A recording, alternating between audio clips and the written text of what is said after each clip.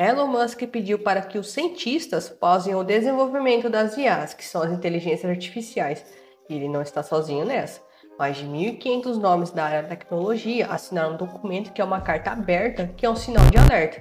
É, o negócio está ficando crítico. Será que existe algum risco para a humanidade com esse desenvolvimento acelerado? E será o fim para nós artistas? Eu pesquisei sobre o assunto e também vi outros canais, artistas falando também sobre isso e fiquei refletindo sobre o que pode acontecer com quem trabalha com a arte. E vou mais além e quero também a sua opinião. Será que vai acabar com o emprego das pessoas? E aí, pessoal, tudo bem com vocês? Sejam bem-vindos ao meu canal. Risco para a humanidade. É isso que pensa essa galera que entende tecnologia e assinou esta carta aberta que está dizendo sobre as IAs. Elas estão disparando e eles querem saber aonde isso vai parar através do Instituto Futuro da Vida, que foi fundado há muito tempo por Elon Musk, publicar este documento para o mundo, que diz o seguinte: abre aspas. A IA avançada pode representar uma mudança profunda na história da vida na Terra e deve ser planejada e gerenciada com cuidado e recursos proporcionais. Infelizmente, esse nível de planejamento e gestão não está sendo adotado. Fecha aspas. Ou seja, eles não querem acabar com elas, eles querem que pause durante uns seis meses para poder reavaliar esse desenvolvimento e sejam colocadas regras para justamente proteger a gente, que os projetos daqui em diante sejam fiscalizados por especialistas.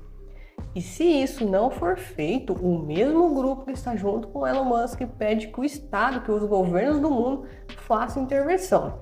Mas tem como parar isso? Na nossa área que é a arte, existem aplicativos que fazem ilustrações, fazem design. Você simplesmente diz o que quer e ele vai lá e cria um logo, cria o um retrato ilustração. Tudo isso que poderia ter sido desenvolvido por um profissional, por uma pessoa. Mas você acha que é só isso? Se você pensar no seu dia a dia, quando você vai no shopping, o ticket de estacionamento, o supermercado, a caixa de supermercado, a de telemarketing, as IA já estavam ali sendo desenvolvidas há muito tempo para substituir justamente a mão de obra humana. Tem risco? Bom, eu não sou especialista no assunto, mas os controles da Goldman Sachs publicaram um relatório que é um dos maiores bancos de investidores do mundo, que estudou sobre o tema. Potencialmente teremos 300 milhões de empregos eliminados no mundo. Serão 300 milhões de pessoas sem trabalho. E isso não é um futuro distante, não. Isso pode acontecer dentro de meses. E esse relatório foi feito com as IAs que temos hoje. Só que esse mesmo relatório diz que as IAs podem aumentar a produtividade de trabalho e aumentar o PIB global em 7% ao, ao ano durante um período de 10 anos.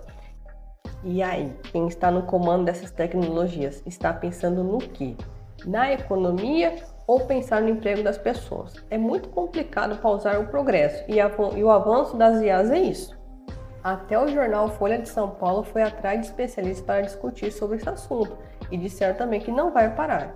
E até mesmo como o professor Reginaldo Bianchi disse, se não houve pausa no desenvolvimento das armas nucleares, todas as grandes nações não vão deixar de desenvolver meias IAs, porque isso dá lucro e dá competitividade. E se um país não desenvolver, o outro vai. E já estamos também numa corrida das IAs, que já é uma disputa geopolítica em minha opinião, não vai parar também. Vai continuar as IAs, o desenvolvimento vai em frente. Vamos analisar. Por que, que as IAs estão vindo assim de uma maneira tão acelerada? Eu vou usar um exemplo simples que aconteceu comigo. Eu procurei um profissional para desenvolver algumas artes para o meu trabalho e simplesmente ele não atendeu o que eu quis. Ah, Jéssica, mas para você é complicado porque você é artista. Não é complicado. Por esse motivo, para ser artista. Qualquer profissional que pretende trabalhar em qualquer segmento, qualquer nicho, tem que pensar dentro do mercado dele. Existem vários profissionais, vários profissionais de vários níveis, e ele tem que ser o melhor, mas não melhor que as pessoas. Vai ter que ser de melhor nível profissional dentro do ramo dele, que ele precisa atender bem.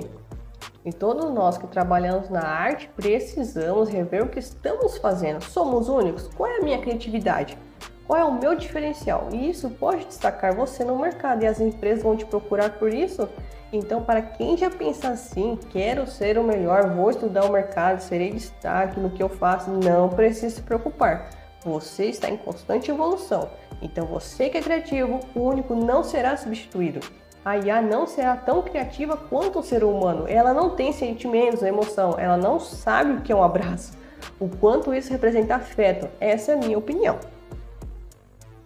Então, gente, pense bem na arte, no seu ramo, coloque o seu diferencial no seu trabalho e esteja em constante evolução. E vocês podem também utilizar as IAs para poder beneficiar vocês nessa evolução e também no seu trabalho.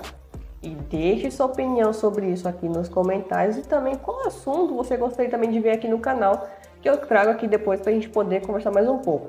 Beleza? E até a próxima!